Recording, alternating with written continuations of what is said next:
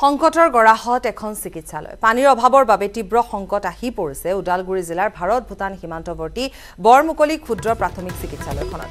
দুহেজাৰ ওঠৰ চনতে স্থাপন কৰা এই ক্ষুদ্ৰ চিকিৎসালয়খনত দীৰ্ঘদিন ধৰি নাই কোনো পানীৰ ব্যৱস্থা। দুবাল্টি পানীৰে চিকিৎসালয়খনৰ সকলো কাম সমাপন কৰিব লাগে চিকিৎসক নাৰ্ছে।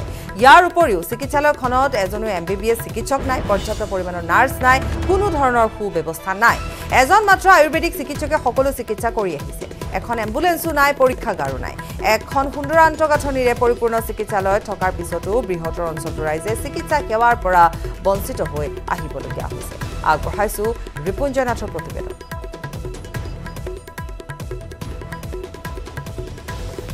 পোনে পোনে মই যি চিকিৎসকগৰাকী আছে চিকিৎসকগৰাকী কেনেকুৱা যি অভাৱত আছে মই তেওঁৰ পৰা পোনে পোনে জানিব বিচাৰিম। কি ক'ব?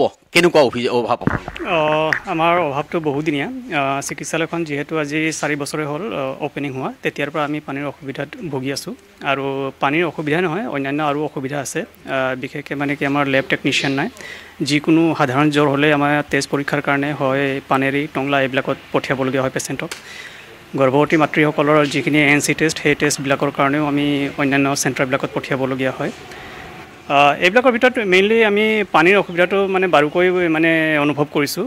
আপোনাৰ আপুনি যেতিয়া ৰোগী যেতিয়া আপোনাৰ আপুনি চাই চিকিৎসা সেৱা আগবঢ়ায় তাৰপিছত হাতখন ধুবলৈ আপুনি পানী পায় নে নাপায়?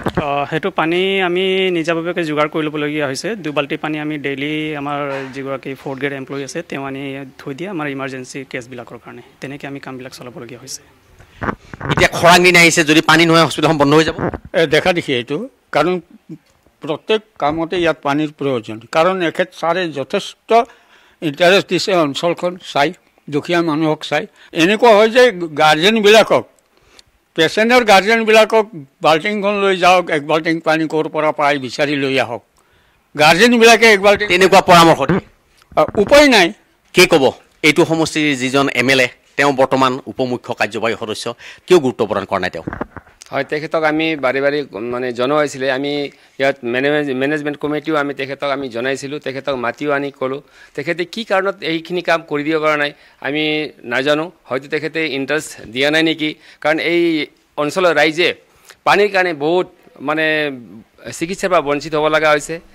সেইকাৰণে আমি বাৰে বাৰে অনুৰোধ কৰিছোঁ তেখেতে যদি আজি এই যিটো নিউজ চাই যে আমাৰ যিটো দাবী আছে সেই দাবীটো অনতি পলমে তে- তেখেতে পূৰণ কৰি দিবলৈ আমি তেখেতক টানি অনুৰোধ জনাইছোঁ।